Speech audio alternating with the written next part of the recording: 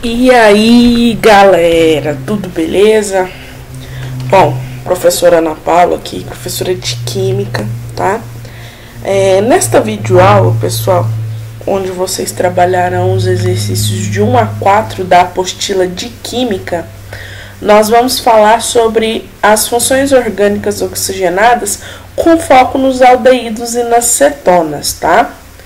Bom, pessoal, de modo bem geral aqui, só para a gente introduzir no assunto, os aldeídos, pessoal, eles são compostos orgânicos que contêm um grupo carbonila que está ligado a um carbono primário. Lembra lá que a gente estudou carbono primário, secundário? Pois então, para ser um aldeído, esse C dupla O aqui, ó, que a gente chama de carbonila, ele precisa estar tá ligado a um carbono primário, tá? Mas nós vamos conversar mais sobre ele aqui adiante no vídeo.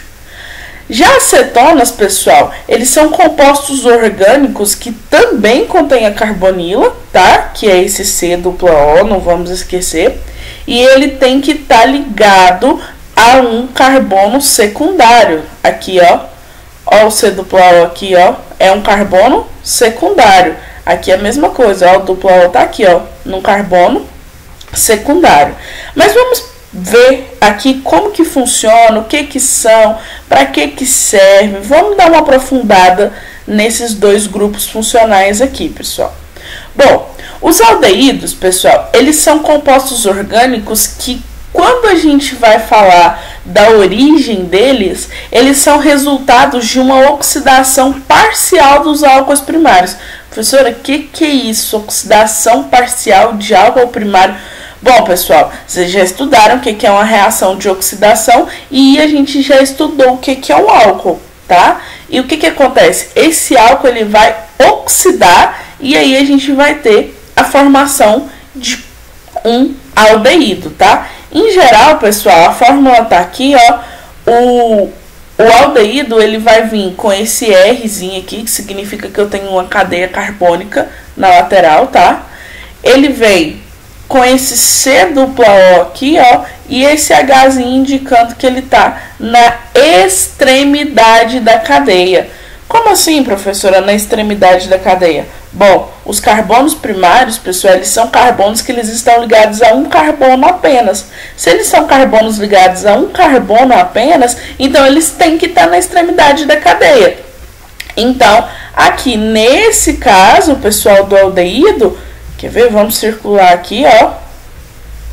Nesse caso aqui, pessoal, o meu aldeído, ele vai estar tá na extremidade da cadeia, no carboninho que está na extremidade. Então, ele está ligado só ao dupla O aqui e a um hidrogênio, ok? Pessoal, vamos lá. Um aldeído muito importante que a gente tem, tá? E eu vou chamar ele de metanal. Por que, que ele é metanal? Vamos saber daqui a pouquinho. Pessoal, o metanal ele é o principal aldeído, tá? E ele também ele é conhecido como formaldeído, aldeído fórmico, ou como vocês vão ter um pouco mais de uh, habitualidade, vamos dizer assim, o formol, tá? O formol, pessoal, ele é o metanal, que é um aldeído. Pessoal, nas condições ambientes, ou seja, no normal, a, ele é um gás incolor, extremamente irritante para as mucosas, ou seja, ele te deixa com aquela sensação de coceira, de agonia, tá? E aí, quando ele é dissolvido em água, ele forma a solução que a gente conhece como formol ou formalina, tá? O formol, pessoal, ele tem propriedade de desnaturar proteínas, tornando elas resistentes à decomposição de bactérias. Tá vendo então por que, que em laboratórios a gente usa formol? Tá aqui, ó. Isso aqui é a imagem de duas duas espécies que colocam em laboratórios de biologia e elas estão imersas em formol, por quê? Porque ele está impedindo que se decomponha, tá?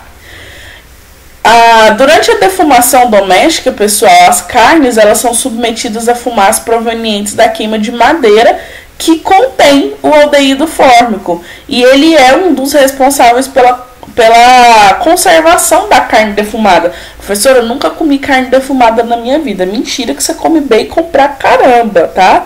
Então, pessoal, o metanol, que é o formol, tá? Ele é muito utilizado, ele tá presente nas nossas vidas, tá?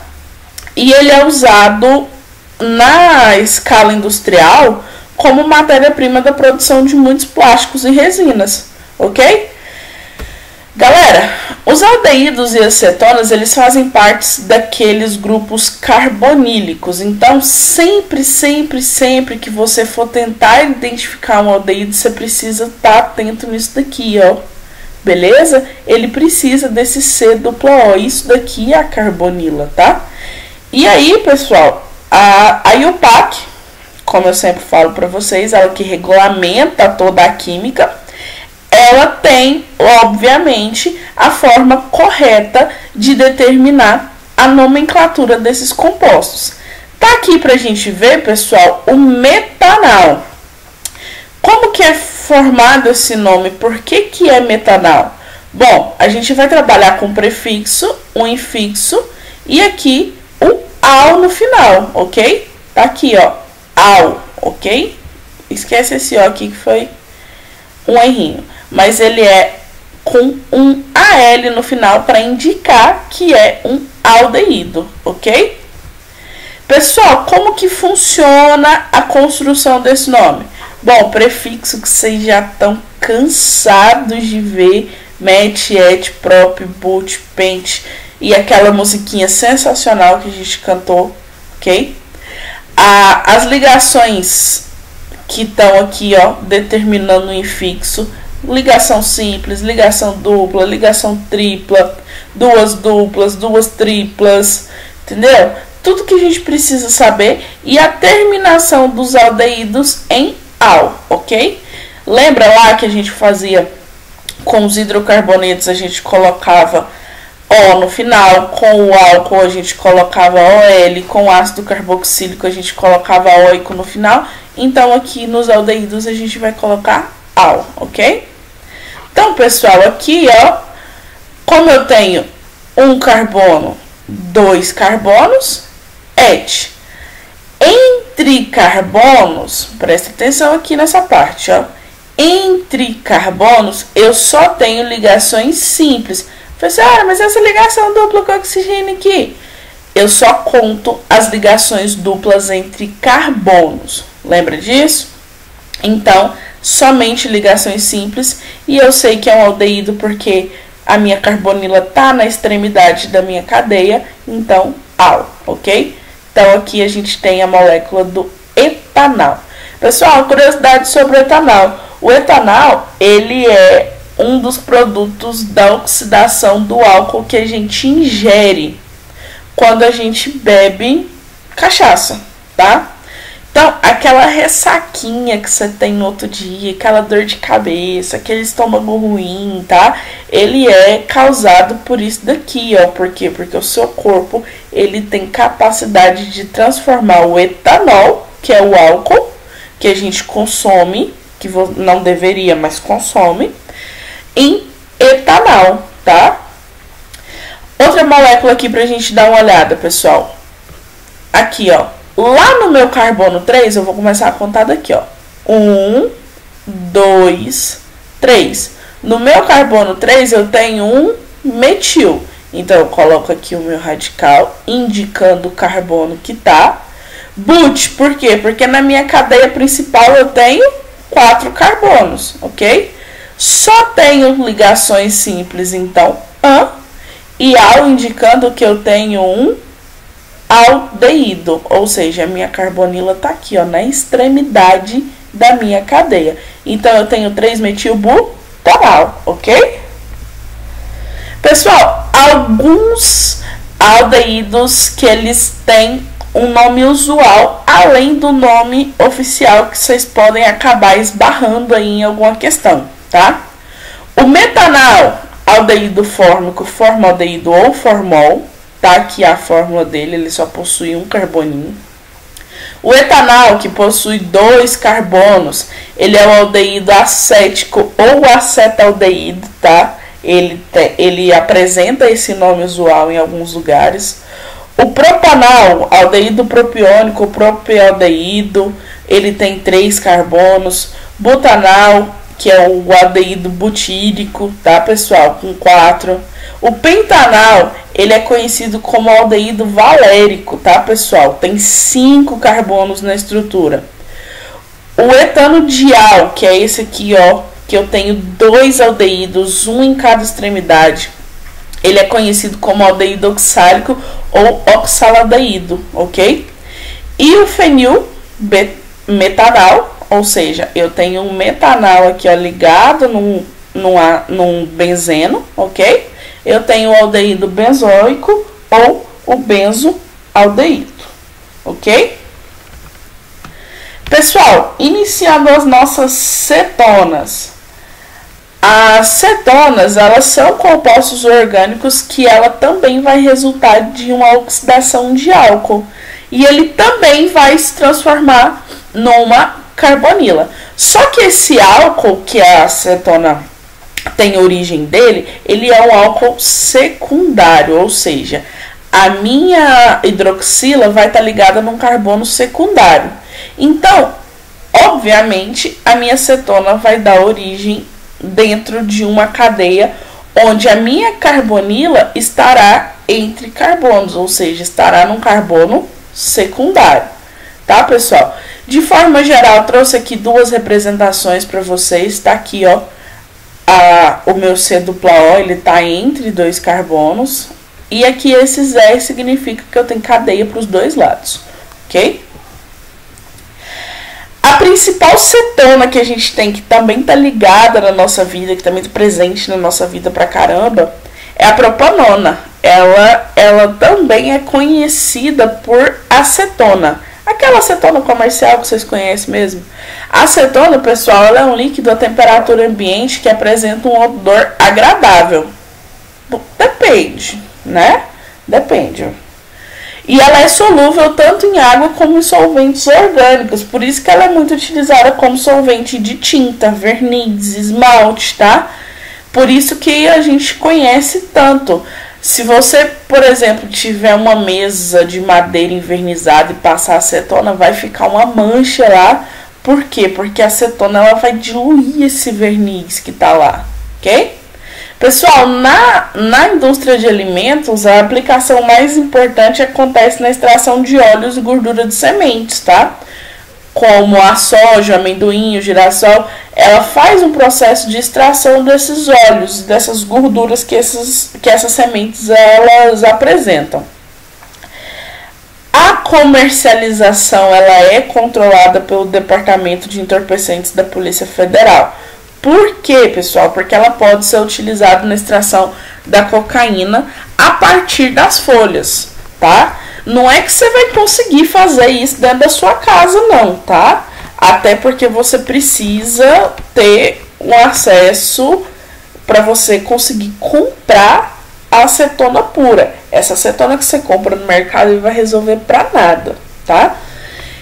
Pessoal, e outra curiosidade, a acetona ela é formada no nosso organismo pela metabolização de gordura, ou seja, ela é um, um subproduto, tá? Que é, a concentração ela é menor que 1 miligrama a cada 100 ml de sangue. Bom, pessoal, em alguns casos, como pessoas que possuem diabetes, a concentração de acetona ela é superior a esse nível normal aqui que foi determinado, tá? E a acetona ela é facilmente excretada na urina, onde a gente consegue detectar ela, ok? Como que funciona a nomenclatura oficial das cetonas? Bom, como a gente já sabe o prefixo, a gente vai contar a quantidade de carbonos que tem na cadeia principal o infixo é o tipo de ligação entre átomos de carbono, ligação simples, dupla, tripla. E a terminação, que é onde você vai determinar qual é o grupo funcional, a gente vai escrever ONA, ok? Então, a gente coloca aqui, ó. Eu tenho aqui um, dois, três, quatro carbonos, então but. Somente ligações simples entre carbonos, então AN iona indicando que é uma acetona. Por que, que é uma acetona, pessoal? Porque aqui, ó, a minha carbonila está entre dois carbonos. Então, aqui a gente tem a butanona, ok?